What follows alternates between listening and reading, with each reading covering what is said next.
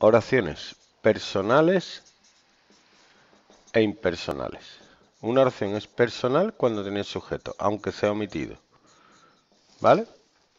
Por ejemplo, yo te amo con la fuerza de los mares, yo, es el sujeto.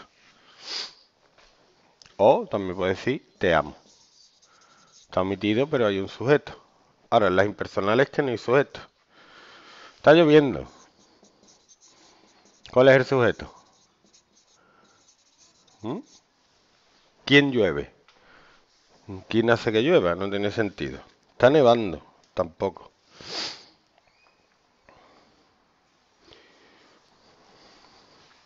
Estas son las de fenómenos meteorológicos.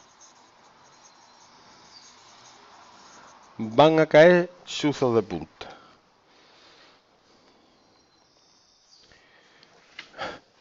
Aquí pone existenciales. Qué problema tan grande. Con los verbos ser, haber y hacer. Vamos a poner un ejemplo en cada uno.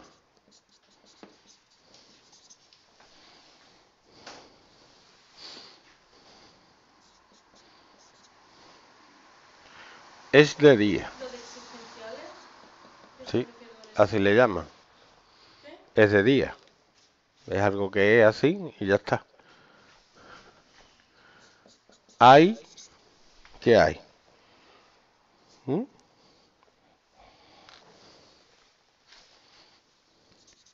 Muchos cines, refiriéndose a que existen muchos cines en la zona.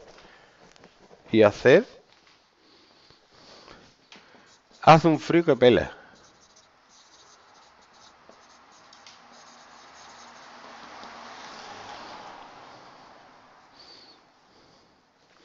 O, como dice un amigo mío, hace sueño.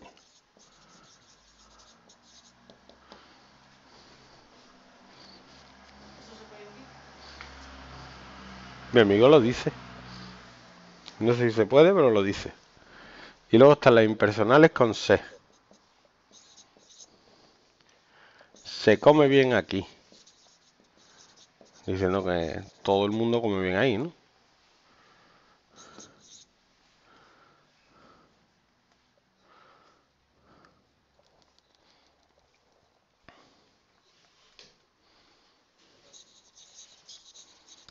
Se respira concordia y amor.